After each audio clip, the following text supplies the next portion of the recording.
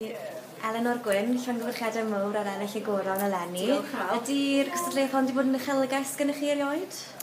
Na, allai ddim gweud i bod ti. Dwi'n mwynhau cystadleuaeth y goron bob blwyddyn.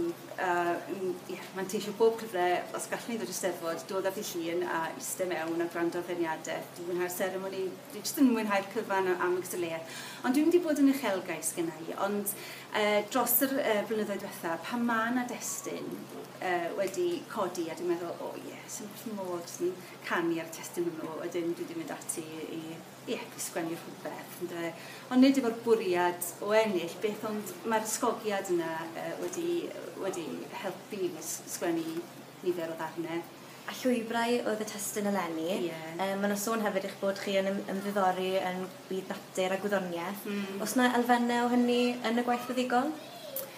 Mymryn falle, um, mae yna ddelweddau yna sy'n syliedig ar olygfeidd o dirweddau a uh, bywyd gwyllt Cymru. Um, ond nid dyna, nid dyna'n benna beth yw'r gerdd, falle. Dyna beth falle o'n i wedi bwriadu sgwennu. Pan weles i'r testyn, o'n i'n meddwl, mae bwn dy fod rhywbeth allai, allai gyfansoddi ar y thema yma gymro fi yn dwlu gymaint ar diweddau e a chwydro. Eh, ond rhywbeth arall ddath, ddath mas. Mae'r gerdd neu'r casgliad yn, mewn ffordd yn, um, yn siwrne yn nhw'n hunain, yn siwrne drwy, drwy gyfnod o alari. Ond fel mae rhywun pan maen nhw yn mynd am dro ac yn crwydro yn rhyw ddyddyrio a wedyn yn gweld rhyw olygfeidd bach ag ati, mae'r ma, r, ma, cyfan yna yna hefyd. Felly, ie, yeah, yeah, mae yna elfennau, ond nid yn y ffordd mwyaf uh, um, disgwyledig felly o, o feddwl am beth yw wyddodebau e yng Nghefndir i. A fyna gymoliaeth mawr iawn i'ch gwaith chi, um, gyda'r brifniad yn disgrifio fe fel darn o gelf mewn ffordd. Oedd hwnna'n, oedd hwnna'n, sut oedd hwnna'n yn teimlo i glywed am hynny?